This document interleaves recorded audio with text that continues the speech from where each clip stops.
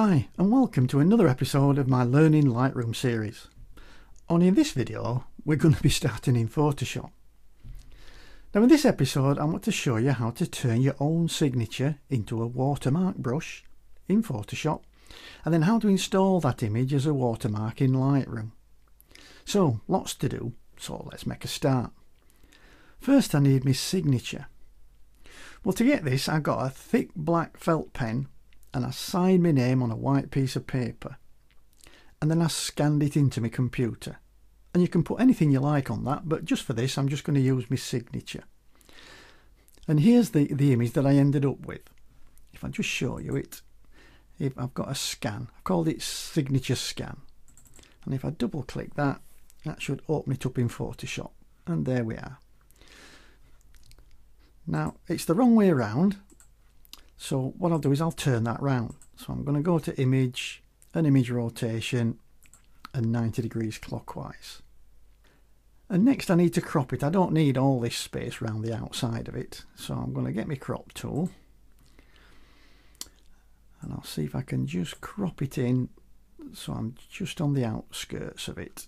So something like that is good enough.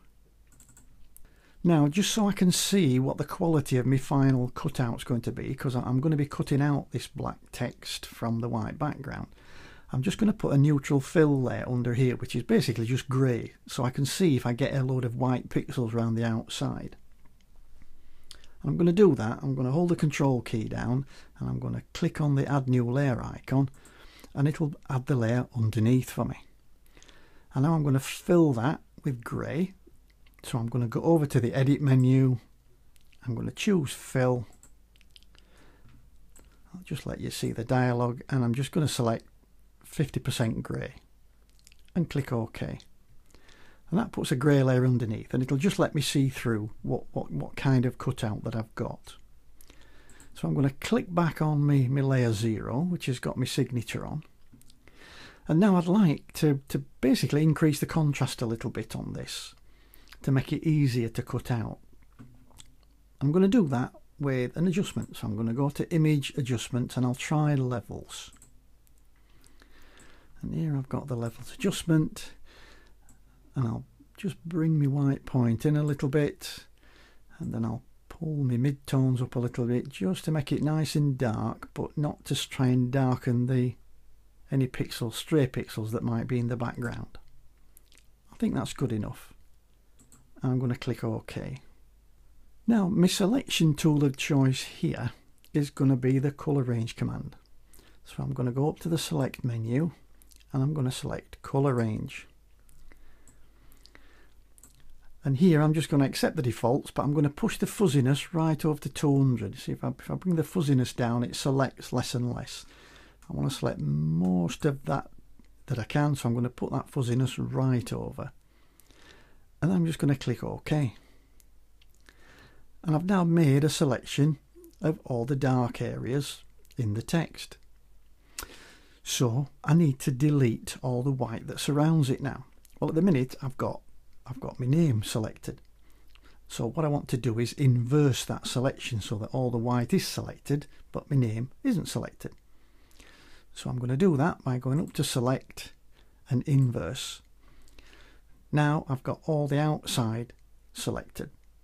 So if I now press the backspace key, I will delete all that white. And if I now do Control and D to deselect the selection, you should see that I've got a pretty good cutout. Can't see any white pixels hanging over the edge of that at all against that grey background. And I'll just turn that off so you can see. So all I've done is just to give me an idea with that grey. Now I know it's pretty good, so I can drop that in the bin. I don't need it. So next, let's save this out as a brush. And to do that, I'm going to go up to the Edit menu. I'm going to go down to Define Brush Preset. I'm then going to give it a name. And I'll call it Ken Sig. I'll call it Black. Ken Sig Black. And I'll click OK. And now if I go and select my brush tool and then I go up and select a brush, you'll find that the last brush is the one I've just made, which is this K Fisher. You can see it there. Okay, so let's go and find an image. Go File and Open Recent. And we'll try one of these. That looks good. I can now use my square bracket keys to make my signature smaller. And I can just go along and I can stamp it by clicking once on my image. If I want to change the colour, I'll just change that foreground colour so I can stamp it out as red. And if I want to change it to another colour, let's say a blue, I can stamp it out as blue. So it's a very quick way of just stamping on a little bit of a watermark or, or a branding on your images. Well, that's good for Photoshop, but how can we use that brush as a watermark in Lightroom? Well, we can't directly use the brush. First, we have to save it out as an image. And in this case, it has transparent pixels around it.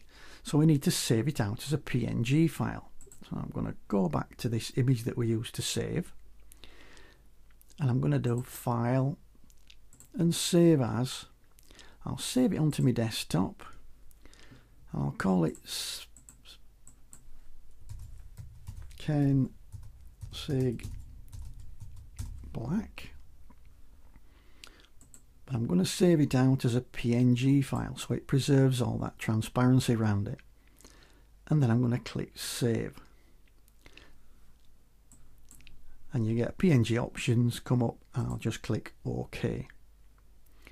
Right now this is going to look okay against a light image background but what happens if we come up against a dark image background? Then obviously a black signature against dark isn't going to be too good. So I'm, I'm going to create a white signature now. And I'm going to do that by making sure that white is my foreground colour. And I'm going to press the keyboard shortcut of Alt, Shift and Backspace. And what that's going to do is change all the black pixels to white pixels. So I've now got a white signature. I know you can't see it very well, but trust me, it's there. And then I'm just going to save that out. So I'm going to do File, Save As. I'll save it out again as a PNG. But this time I'll call it Ken Sig White and I'll click save again and OK. Okay, let's switch over to Lightroom. So I'll just minimize Photoshop. You can see here on the desktop, as well as my original scan, I've now got those two PNG files that we just created, a Kensig White and a Kensig Black. Okay, let's go and find Lightroom. And now we're going to go into the watermark editor. Now, we can go to edit and edit watermarks if you're on a PC or it'll be Lightroom and edit watermarks if you're on a Mac. And we click to open up the watermark editor. Now there's a lot of this we're not going to use because we're going to select graphic because we're going to use a, a, a graphic that we've created. And then it's going to ask us to navigate to where we want to be. So we want to be on the desktop and I'm now looking for Kensig Black. Let's say start with. There we go. So I'm going to click on Kensig Black and choose it. And that's now going to load it in. So in this corner here, if I click and drag, you can see that I've got my black signature. Again, it doesn't look very good because it's against a dark background. And what we can do is you can decide where you want to put it. Do you need to offset it at all? So if you wanted it just offset a little bit and a little bit up, then you could set it there. You could anchor it in the top corner, in the middle, wherever you wanted to do it. I'll leave it in that bottom corner, just offset a little bit. And I'm now going to save this out as a custom watermark. So I'm going to save current settings as a new preset. And I'll call this Kensig black and I'll click create. I'm now going to repeat the process but for the white one. I'm going to choose and then I'm going to scroll down to Kensig White. I'm going to choose that one. And there you can see again, it's come up, but this is uh, it's a light one, so this will be good against dark backgrounds. And I'm going to save that one out. Save current settings, a new preset, but I'll call this one Kensig White. And click create. And I'm done in here now. I can cancel out of that. So now I can use these watermarks anywhere in Lightroom for any output. If I'm exporting, if I'm doing slideshows, prints, web module, anything like that. So let's just have a quick look at an example. Let's just imagine I say want to print this image, but I want it watermarking. So I'm going to go into the print module. And on here you can see I've got an option to tick the watermarking box, which I have done. Now I'm going to choose this drop down here and now I've got the two watermarks that I've just made in here. Well this is a fairly dark image so I'm going to choose Kensig White and there it is. It puts it on and that will put it on every printed image, on every exported image. Whatever I do it will watermark those images for me. So now you know how to use your own signature to make a watermark to use in Photoshop or in Lightroom. So that's it. Thank you so much for joining me in this episode. Remember to subscribe to my YouTube channel where there are many more free resources. I'll catch you in the next video. Bye for now.